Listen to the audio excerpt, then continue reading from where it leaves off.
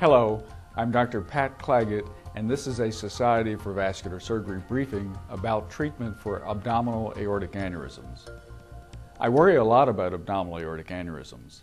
Aortic aneurysms are a weak, dilated areas of the main artery in the abdomen that can rupture much like a balloon popping.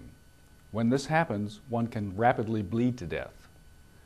The good news is that if detected early, aneurysms can be treated and rupture prevented.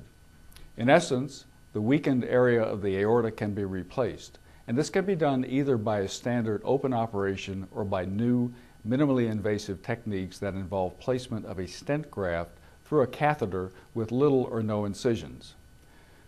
Most patients today are treated with the minimally invasive stent graft method. This is a great advance because it involves little discomfort a short two to three day stay in the hospital, and rapid recovery to normal activities. However, not all patients are suitable for the stent graft method. In that case, the standard open operation can be performed. This is a major operation that's been around for 50 years but very successful in treating aneurysms.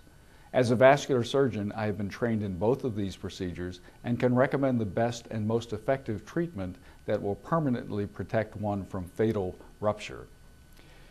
Aortic aneurysms are common in people over the age of 60. They are a silent killer in that they usually go undetected until they begin to rupture and cause pain in the abdomen or back. Then it may be too late. There's a simple screening test to detect the presence of an aneurysm. This involves an ultrasound exam based on sound waves that is painless and relatively inexpensive. Aneurysms are most common in people over the age of 60 who are or ever have been a cigarette smoker and people with a family history of aneurysms. They may also be found in people who have heart disease and peripheral artery disease or PAD. If you have any of these characteristics, you should be screened with an ultrasound exam. As I said, I worry a lot about aortic aneurysms. You see, it turns out uh, it runs in my family. My mother had one, and her brother, my uncle, died from a ruptured aortic aneurysm. I've been screened, and I've had the rest of my family undergo an ultrasound exam. Should you?